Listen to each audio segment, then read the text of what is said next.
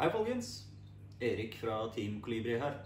I mai hadde vi en uh, trekkepremie hvor uh, Mai og Freds Fiskefritid og Nordmark hadde stilt opp med to stykk 13 Fishing uh, Origin 4 multiplikatorsneller som vi kunne trekke ut til to heldige deltakere.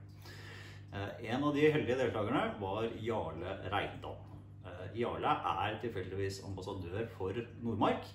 Eh, men sånn er det nå en gang med tilfeldige trekninger. Jarle svarte da til oss at han ville at snella som han vant, skulle trekkes ut en gang til eh, til en junior. Og det har vi nå gjort.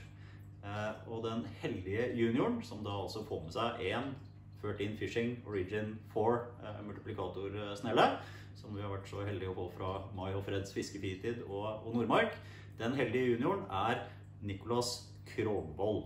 Eh, Nicolas har flere fine fisker inne i Kolibri Colibri Predator eh, Cup. Ikke minst har han lykkes veldig godt med abborfisket sitt i år. Nicolas, vi gratulerer veldig mye med en 13 Fishing multiplikatorsnelle til deg. Ta en liten prat med mamma og pappa og spør om det er greit at du tar kontakt med oss og sender oss din adresse. Så kommer det en 13 Fishing multiplikatorsnelle i posten til deg snart. Gratulerer så mye.